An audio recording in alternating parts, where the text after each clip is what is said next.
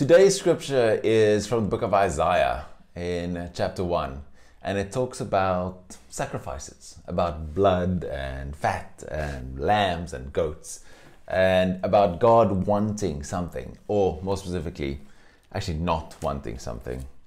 The text reads, it says, The multitude of your sacrifices, what are they to me, says the Lord? I have more than enough of burnt offerings, of rams, and the fat of fattened animals. I have no pleasure in the blood of bulls and lambs and goats.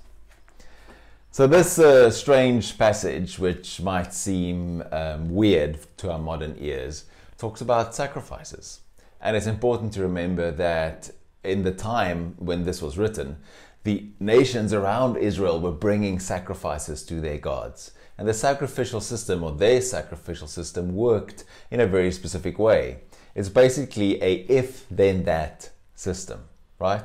So if we bring sacrifices, then the God will either bless us or not harm us. We can either get him to like us and give us gifts, or just get him to like just not be angry. And what this passage teaches us about the God of Israel, Yahweh, is that he is different. He works in an upside down way. He does not need sacrifices. He doesn't care for them, in fact. The God is, our God is different. He doesn't care for that. He cares about our hearts. He cares about the way we are in the world.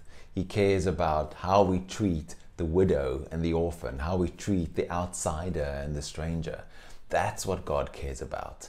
God, our God, the God of the Bible, Yahweh, is not this formulaic God that you can manipulate with sacrifices and offerings and bargains.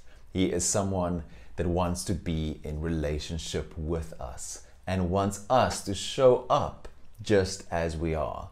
And this is a completely upside down way to how the rest of the world understood gods and how the rest of the world today understands society.